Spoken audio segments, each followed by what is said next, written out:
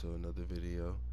I told y'all these gonna be the back-to-back videos, and this is gonna be the last video. y'all gonna get to the next one. Come in. Oh, we all Woods, dead. have you found them yet? Over here! Give me a hand!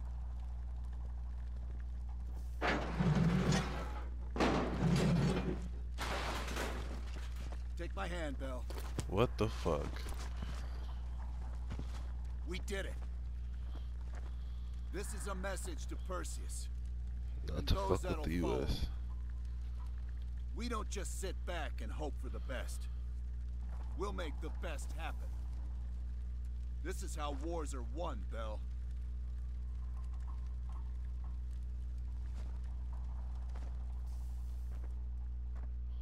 So you're you gonna get the fuck up out of here? Do you have an update on Qasim Javadi? Yeah. With both he and Arash Kadivar dead, their terrorist network collapsed as surviving members fought for control. With no clear leadership in place, it appears the Soviets have decided to cut ties and clean up the mess. Approximately 72 hours ago, the militants' primary encampment was burned to the ground. Nothing but ashes. Apparently, the few survivors that escaped have scattered and gone into hiding. What about Anton Volikhov? Volikhov has become a prime source of information since his capture. After interrogating him, MI6 quickly established a series of listening posts in East Berlin. We've already intercepted messages from the KGB to assets throughout the city. We're poking holes in the Iron Curtain.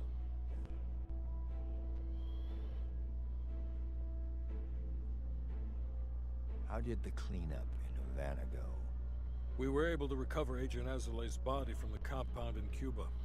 President Reagan personally reached out to his family and his casket's in transit to Tel Aviv. As you know, Helen Park returned to London. She'll continue to recover from her injuries there. Afterwards, MI6 plans to give her a task force dedicated to finding Perseus. What about the rest of the team? They got off Solovetsky before the Soviets could send in forces to investigate. It'll take some time to heal up, then it's back to work. We may have stopped Perseus, but his rats are still nesting all around True. We failed to hunt down Robert Aldrich and his domestic network of spies. We may have to go to more extreme measures, like broad domestic surveillance, which of course we're not authorized to do. Not yet. What about Europe? Not only did we stop a nuclear attack, we managed to take out Major Vadim Rudnik.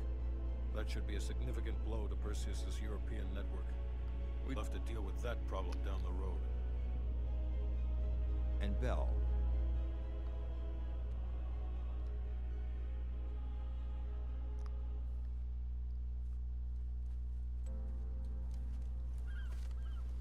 Arctic air. There's the head, doesn't it? Bell, you made two extraordinary sacrifices to stop Perseus. One was without your knowledge. The other, you made that decision of your own accord.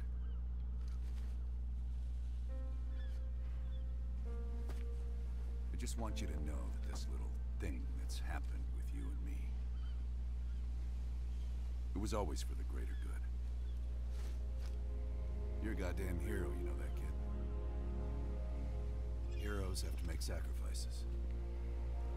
That's why when I ask you for one more, I hope you understand. It was never personal.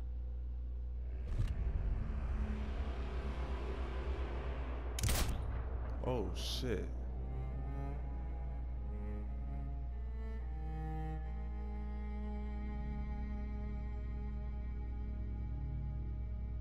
That's fucked up.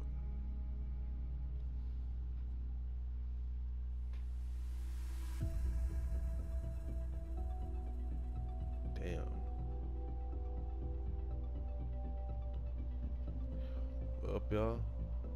That's the end of the series.